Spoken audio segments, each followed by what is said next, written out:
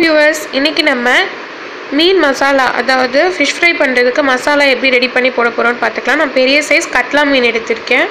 இதுக்கு தேவையான இன்க்ரீடியன்ஸ் என்னென்னா ஒரு டேபிள் ஸ்பூன் அளவுக்கு மிளகு அதே டேபிள் ஸ்பூன் அளவுக்கு சீரகம் ஒரு துண்டு இஞ்சி ஒரு பத்து பதினஞ்சு பல் பூண்டு அஞ்சுலேருந்து ஆறு வரமிளகா அரை எலுமிச்சம்பழம் ஒரு ஸ்பூன் அளவுக்கு சோம்பு. நீங்கள் ரா சோம்பு எடுத்தால் இன்னும் நல்லாயிருக்கும் இது மல்லித்தூள் வறுத்து அரைச்சி வச்சுருக்க மல்லித்தூள் அடுத்து வந்து மஞ்சள் தூள் கருவேப்பிலை கொத்தமல்லி ஒரு கொத்த அளவுக்கு.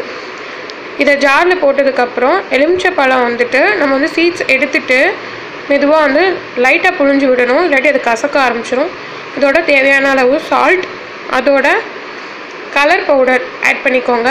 உங்கள்கிட்ட ஆரஞ்சு கலர் இருந்தால் ஆட் பண்ணிக்கோங்க. இல்லை இந்த மாதிரி ரெட் கலர் ஃபுட் கலர் இருந்தாலும் ஆட் பண்ணிக்கலாம். உங்களுக்கு ஃபுட் கலர் வேணாம்னா ஆட் பண்ணாமே அரைச்சிக்கோங்க. இது மாதிரி குறை குறை அரைச்சிக்கோங்க ரொம்ப பயனாக வேண்டாம். இப்போ தான் ஒரு சின்ன பவுலுக்கு ட்ரான்ஸ்ஃபர் பண்ணிக்கிறேன். இப்போ நம்ம எடுத்து வச்சுருக்க ஃபிஷ்ஷை கொஞ்சம் கொஞ்சமாக வந்துட்டு இதை வந்துட்டு மசாலாவோட ஸ்ப்ரெட் பண்ணி வந்துட்டு ஈவனாக தடவ போகிறோம் இப்போ அது நல்லா வந்துட்டு ஒவ்வொன்றா வந்துட்டு மெதுவாக வந்துட்டு ஸ்ப்ரெட் பண்ணி விடுங்க. நீங்கள் மொத்தமாக வந்துட்டு மசாலா போட்டு பெரட்டினா அப்படின்னு நினச்சோன்னா மீன் வந்து இது வந்து கொஞ்சம் பெருசாக இருக்கனால வந்துட்டு உங்களுக்கு உடையும். இந்த மாதிரி நீங்கள் பொறுமையாக ஒன்று ஒன்றா ஸ்ப்ரெட் பண்ணிங்கன்னா உடையாமையும் இருக்கும். எண்ணெயில் போடும் போது வந்துட்டு பார்த்திங்கன்னா இன்னும் நல்லா வந்துட்டு ஒட்டாமல் வரும். ஸோ இது மாதிரி ஒன்று ஒன்றா போட்டு ஈவனாக எல்லா இடத்துலையும் படுற மாதிரி இந்த மூளையில் இருக்கு இல்லையா? அந்த சுற்றி இருக்க இடத்துலையும் ஸ்ப்ரெட் பண்ணி விட்டு தனியாக வந்து எடுத்து வச்சுக்கோங்க ஒவ்வொரு ஃபிஷ் பீஸாக இப்போ நெக்ஸ்ட்டுக்கு போடுறோம். இப்படியே ஒவ்வொன்றையும் இதே மாதிரி போட்டுருங்க. எக்ஸஸாக இருக்கிற கொஞ்சம் கொஞ்சம் பேஸ்ட்டையும் வந்துட்டு சைடில் இருக்க ஓரங்களில் தடவி இது மாதிரி எடுத்து வச்சுக்கோங்க. இப்போது ஒவ்வொன்றா எடுத்து வச்சாச்சு. இப்போ நான் மொத்தமாக எல்லாத்துக்கும் மசாலா போட்டேன். ஸோ இப்போ மசாலா போட்டதுக்கப்புறம் ஒரு டுவெண்ட்டி மினிட்ஸ் வந்து நீங்கள் ஃப்ரிட்ஜில் வச்சுருங்க. அப்போ தான் மசாலா நல்லா ஒட்டும். எண்ணெயில் போடும் போது அது பிரியாமல் வரும். நல்லா வந்துட்டு உங்களுக்கு தவாவில் போட்டாலும் சரி இல்லை நீங்கள் எண்ணெய் சட்டியில் போட்டாலும் சரி ஒட்டாமல் வரும். இப்போ டுவெண்ட்டி மினிட்ஸ் ஆயிடுச்சு. அது நல்லா வந்துட்டு அதோட மசாலா இறங்கியிருக்கு. நான் தோசைக்கல்லில் போட போகிறேன் தேவையான அளவுக்கு ஆயில் விட்டுக்கிறேன். இரும்பு தோசைக்கல்லுனால் அது ஒரு டேஸ்ட்டாக இருக்கும். ஸோ இப்போ நல்லா வந்துட்டு ஆயில் வந்து கொஞ்சம் காயிட்டும்.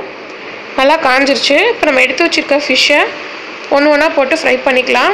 ஸோ நான் ஃபஸ்ட்டு ரெண்டு போடுறேன். லைட்டாக அப்படியே பொறுமையாக வந்துட்டு அது வந்து வெல் விரியும் மீன். ஏன்னா நீங்கள் ஃப்ரிட்ஜில் வச்சுருக்கனால வந்துட்டு சுத்தமாக அந்த மசாலா வந்து அந்த கல்லில் ஒட்டாது. இப்போ நல்லா வந்துட்டு வந்திருக்கு. ஸ்லோ ஃப்ளேமில் அதாவது மீடியம் ஃப்ளேமில் வச்சுக்கோங்க. ஒரு ஃபைவ் மினிட்ஸ் வச்சுட்டு அப்புறம் வெந்ததுக்கப்புறம் திருப்பி போடுங்க. உங்களுக்கு கிறிஸ்பியாக வேணும்னா இன்னும் கொஞ்சம் நேரம் கூட வச்சுக்கலாம். ஆனால் ரொம்ப நேரம் தான் வச்சு குக் பண்ணேன். நல்லா கிறிஸ்பியாக தான் இருக்கும். இப்போ அதை பொறுமையாக திருப்பி போடுங்க. பக்கத்தில் வந்து கொஞ்சம் பார்த்துக்கோங்க. ரொம்ப எண்ணெய் தெறிக்கும். ஸோ இப்போ அது ஒன் சைடு நல்லா வெந்துருச்சு. இப்போ டபுள் சைடு அது நல்லா வந்துட்டு வெந்தோடனே இந்த மாதிரி வந்து பபுள்ஸ்லாம் அடங்கிரும். ஸோ இதை வந்து எடுத்ததுக்கப்புறம் இப்போ டபுள் சைடு வெந்துருச்சு. இது எடுத்ததுக்கப்புறம் நீங்கள் உடனே எடுத்துடாதீங்க. ஆயில் அப்படியே இருக்கும். தவாவோட ஓரத்தில் வச்சுட்டு நெக்ஸ்ட்டு மீன் நீங்கள் போட்டுருங்க. போட்டுட்டு அதோட ஒன் சைட் வேகிற அளவு வரைக்கும் இந்த ஃபிஷ்ஷை வந்து அப்படியே அந்த ஓரத்துலேயே வச்சுருங்க. இதில் இருக்க எண்ணெய் அப்படியே இறங்கும் அந்த ஃபிஷ்க்கு இப்போது நான் எல்லா மீனையும் வந்துட்டு பொறிச்சு எடுத்தாச்சு. ஸோ ஃபிஷ் ஃப்ரை சூடான சுவையான ஃபிஷ் ஃப்ரை ரெடி ஆகிடுச்சு இது ரொம்ப சூப்பராக இருக்கும். இதில் லைட்டாக லெமன் யூஸ் பண்ணிக்கோங்க. கருவேப்பிலை இந்த மாதிரி வறுத்து போட்டால் இதோட சூப்பராக இருக்கும். நான் போட்டிருக்கேன் இதில். நீங்களும் அதே மாதிரி ட்ரை பண்ணுங்கள்